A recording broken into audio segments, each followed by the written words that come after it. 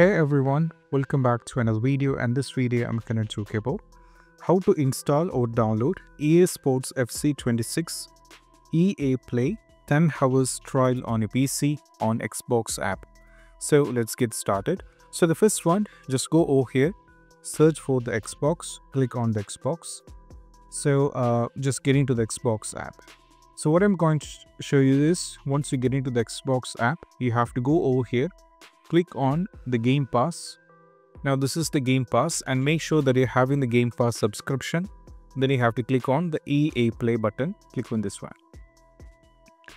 Now as you can see, the EA app, it is there and you're having EA Sports FC 26 and uh, we have many more games with the EA Pass. So just click on EA Sports FC 26 now we have play with the game pass option. So just click on play with the game pass. Now we can see you have to pay this particular amount for the uh, for the game pass. But for me, I don't have the game here. So uh, I mean, I don't have the game pass, but even though just click on the play with the game pass. So once you click on, if you're having the subscription, what happens is you will be having the uh, option to download the game. If you don't find the game here, you can also search for directly EA Sports FC26 you can search for the game as well now click on this one. This way also you can navigate to the game.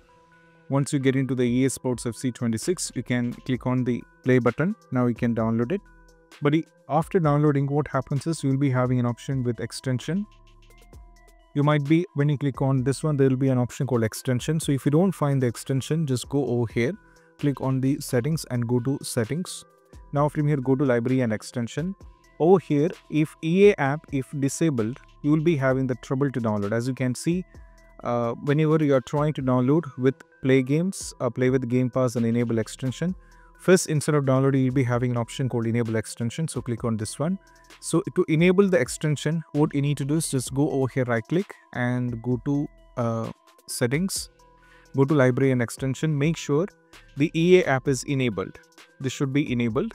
Then you have to click on the play with the game pass. Then you'll be having a download option download it then you have to check. And this is how we can play the game. Free trial of the game time uh, 10 hours before the release of the game. And this is how we can do it.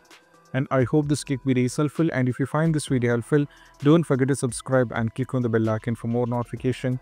That's it. Bye bye